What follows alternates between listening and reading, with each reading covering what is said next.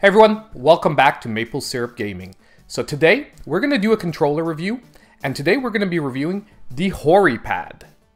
Now, I actually waited a couple of months before reviewing the Hori Pad, because uh, this controller, I'm going to throw a spoiler out right away, really, really disappointed me. And I waited a couple of months because I wanted to be past that point where you're sort of really disappointed in a product and that I'm able to review it in a fair way.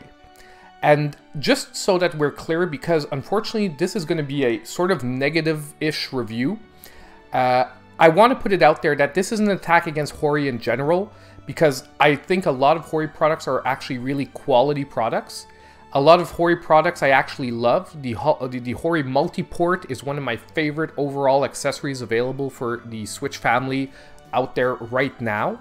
So Hori in general do put out decent products. However, the Hori pad that we're going to review today, in my opinion, is not one of those products. And I thought it was important to throw it out there for all of you so that if anyone's looking at buying a cheap wired controller, that depending on your needs, you might want to steer away from the Hori pad.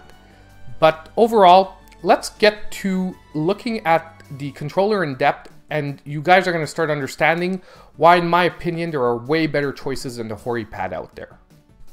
By the way, just a quick shout out, I really want to thank everyone for liking and subscribing to my channel in the last few months. Been growing quicker than usual, and it's really, really uh, incredible for me to have that feeling that, you know, you guys are liking what I'm doing. So, you know, just to keep it going, don't forget to hit the like button, subscribe if you aren't already, and hit the notification bell so that you're aware when I come out with a new video.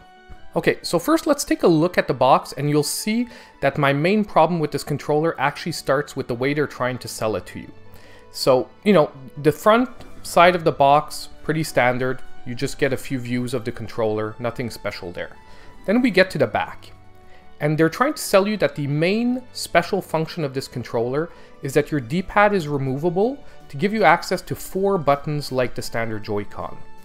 And that's where my problem begins, because they're trying to sell you this as a positive feature and additional feature in their design. Let's just nonetheless take a quick overview of the controller before I get to my specific problem with it. So overall, the controller although I didn't like some of the features, I've got to say that it, it, it, it feels pretty good in hand. Like it's it basically it's reminiscent of an Xbox 360 controller. However, it's a little fatter at the bottom and a little bit lighter overall. But nonetheless, the overall design of the controller is pretty decent. These thumbsticks are good, responsive, not too tight, not too loose. The buttons are nice, clicky, not mushy at all. Same thing for the LNR triggers. And this controller offers you a turbo functionality on any of the face buttons. So you, if you turbo is important for you, this controller is offering it. And what, like Hori demonstrated, the main design point that they're trying to sell you with this controller is that you can remove the D-pad, okay? You can pop it on the back here so that you don't lose it and you can use the uh, front of the controller with four separate face buttons instead of a D-pad. Okay, and this is where most of my problems are coming to, but we're gonna look at that in a few moments. I just wanted to finish with an overview uh, also to note, the cord is not detachable on this, which is unfortunately a downside, and they don't offer you a connected strap to keep the uh, cable in check, so you will need to use an elastic band or something if you want to store the controller comfortably, or if you want to carry it around for travel reasons, uh, it's going to uh, require that. Other than that, it's a standard USB connection, and I mean, like I said, overall, the feel of the controller isn't bad. The major problem I have is really with that D-pad, which we're to get to in a second. And actually, just before we get to talking about that D-pad, one last thing, I just wanted to show you how the turbo functionality works, because overall, using the turbo functionality is pretty easy. So basically, you basically hold down the turbo button, you press whatever button you want the turbo to be active on at the same time. At that point, you can just hold the button down and the inputs will come automatically. You also have a turbo lock function, so if you hold the turbo button and you hit the same button again, the button will stay locked in turbo, it, continuing to input until you basically hit the turbo and button again, which turns it off. And it's as simple as that. You can actually have more than one button on turbo at the same time. So you could activate the turbo on Y, activate the turbo on X. You have both Y and X functioning in turbo. And if you want to cancel all the turbo functionality at once, you hold down turbo and minus. That'll remove the turbo functionality from the whole controller. And there you have the basic turbo functionality for the Hori pad. Just so I can illustrate where I'm coming from, this is the left side Joy-Con. This is normally, uh, basically if you have your Switch, it's your Switch would be here and this is the left side Joy-Con. So this is normally where a D-pad would be situated and that on the Switch they decided to put these four separate buttons. And for a lot of people, if you don't know, the reason why Nintendo didn't put a D-pad on there is because originally they sold the Switch as being able to detach a Joy-Con, hand it to your friend, and your friend has access to a full controller putting it this way. Meaning that if you had a D-pad here, he wouldn't really have the same sensation as you would with the other side of the controller, because rather than having four separate buttons, he would be stuck with a D-pad, making it less intuitive to use the Y, X, B, and A buttons.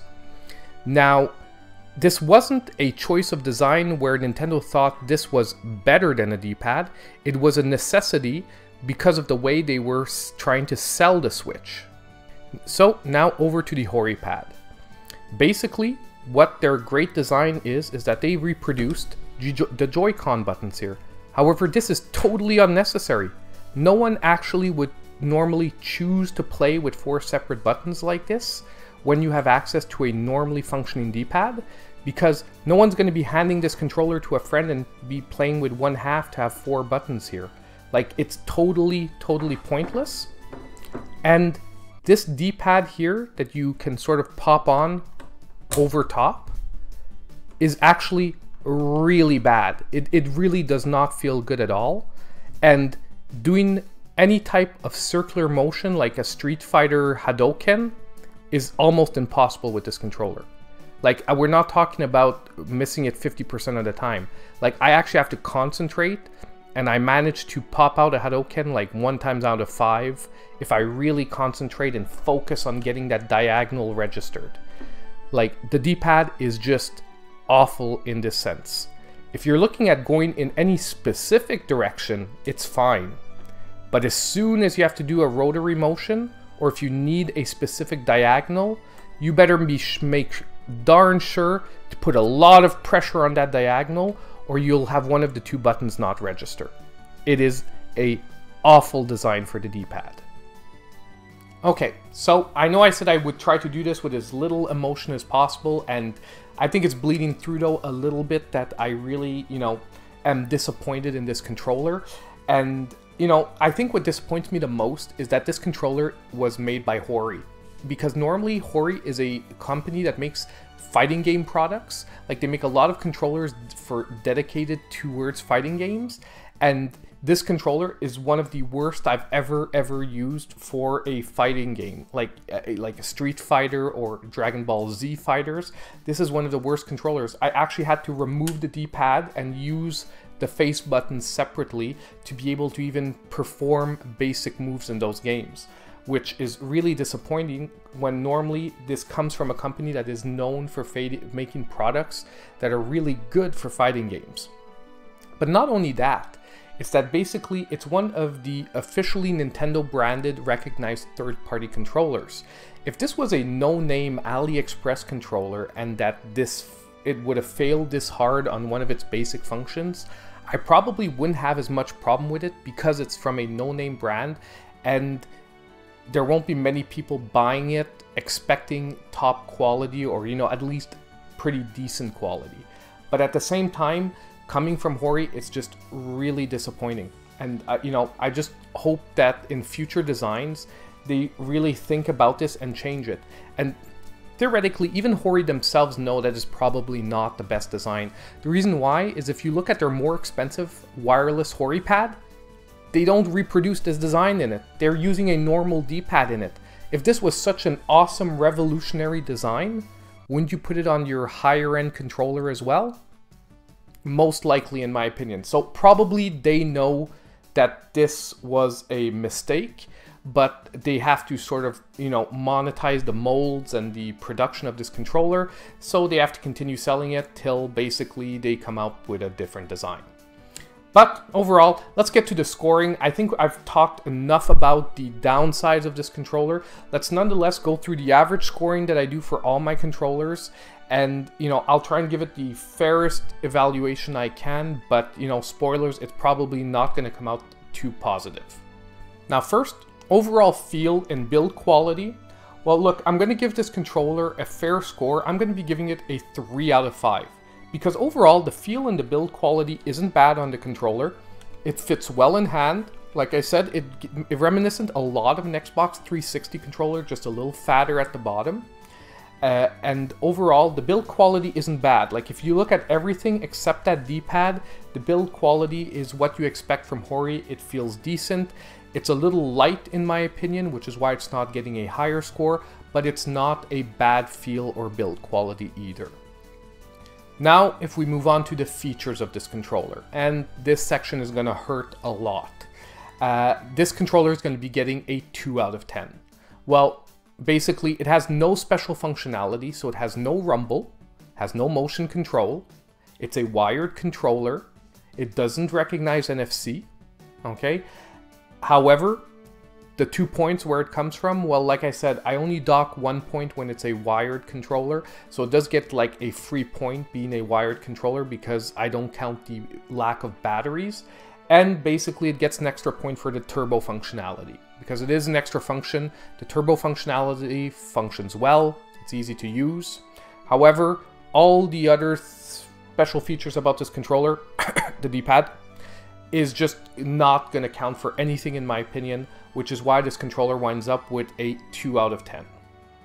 Okay, let's start with our first gaming category, which will be 3D action games and FPS games.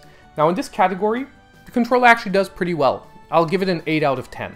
Why? Because basically everything's there that you need for a 3D action or FPS game because it doesn't rely often uh, hardly at all on the D-pad.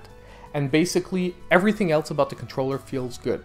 The buttons are responsive, the joysticks work well. The shoulder buttons have a nice, quick, rapid click. So for if you need to fire off single shots, it works well on the Hori pad.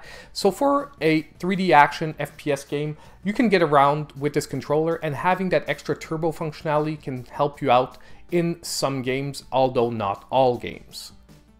Now, however, if we move on to our second gaming category, which is 2D side scrollers or traditional platforming games, well, unfortunately, this controller is going to be getting a 4 out of 10. Why? Because of that D-pad. It, it works really, really bad if you need any type of diagonal input. Basically, if you're go if you have a game that you only need right, left, up, or down as single inputs, you'll be okay. But as soon as you need to hit diagonals, this D-pad is trash. It, it just doesn't work well for diagonals at all. And you'll wind up probably removing the D-pad cap. And at that point, just use the Nintendo dog-faced controller. You'll ha be having approximately the same experience in those type of games. And you won't be losing the rumble, the wireless, and the, uh, you know, the motion controls. But with this D-pad, with this controller, you would be losing those functions and be trading it for a less than stellar D-pad. Now, if we get to our third category, which is traditional 2D fighters, so we're talking about our Street Fighters, our Dragon Ball FighterZs, and those type of games, well, this is going to be unsuspectingly the worst category for this controller, and it's going to be getting a 2 out of 10. Basically, these games are almost impossible to play with the pad unless you remove the D-pad, and at that point you are way better off with the Nintendo dog-faced controller than with this controller because on top of the buttons being not very functional, they're not placed as well in this controller, like feel-wise, your thumb is going to be stretched out more hitting these four buttons than they would be on the traditional dog face controller, and I can tell you, personally, if I had to choose between using the standard dog face controller that comes free with your Switch, or the Hori pad for a fighting game, I will choose the dog face controller like 10 times out of 10 I will not play a fighting game with the Hori pad. I actually got really frustrated and quit an online game because I was playing with this and couldn't perform even the simplest of moves. And we're going to finish with a better category for this controller. If we're talking about racing games, well, it's going to be getting a 7 out of 10. Why 7 out of 10? Well, basically, once again, these games generally do not need the D-pad or will have only basic functions with the D-pad, so not being able to put those diagonal inputs won't be a huge downside for this controller.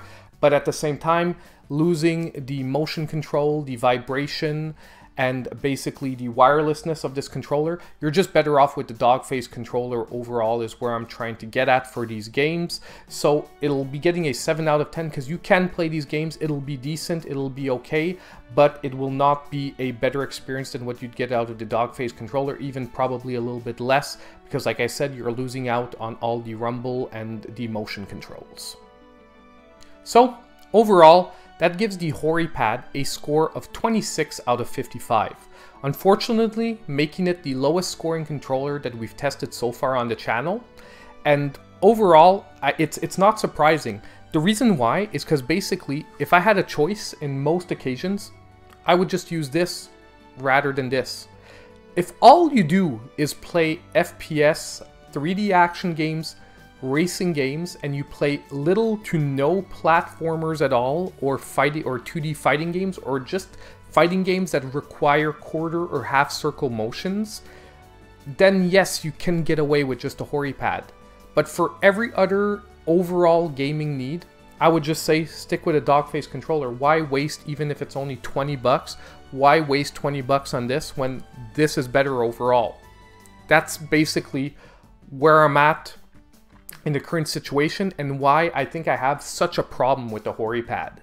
It's that basically overall in a lot of gaming situations, I would have just preferred using the standard dog face controller that comes with your Nintendo Switch. Now, enough with the doom and gloom. We're done with this review. I think I've, you know, explained to you guys my points on the Hori pad. Now do remember that if you disagree with any of this, this is my opinion and I'm totally open. If anyone really likes the Hori pad and you bought it and you're happy with it, power to you. I'm, I'm really glad. I'm just talking to you from a personal perspective because of a lot of the games I play or just I play a lot of every type of game. I find the Hori Pad has some decent strengths but some really harsh weaknesses. And because it's such a disparity between the two, that's I think where I'm having a problem with this controller. And especially because, you know, and if you check my channel out or just the wall behind me, there's so many better controllers out there for about the same price that I'm really just disappointed with Hori put on the table. And like I said, especially considering that their wireless controller has gone back to a traditional D-pad, I think in a certain sense, even they know that that D-pad wasn't maybe the best idea in the world. So I am going to leave affiliate links down below, but like I said, I'm just doing it because some people really like to see the products that I show on the channel. I'm leaving the affiliate links down below. If you do decide to buy the controller, just please be aware of everything I've talked about in this review before choosing to buy it. Um, at the same time, I really want to thank everyone out there for supporting the channel. Keep watching my videos. Don't forget to like and subscribe if you haven't already. And activate the notification bell also if you haven't so that you're aware when I pop up a new video. And as usual, I hope overall, even though this has been a negative video, you've liked uh, hearing me talk about the Hori pad today. And maybe I saved some money for some of you out there that were looking at possibly purchasing this controller. And I hope I'll see you guys in my next video.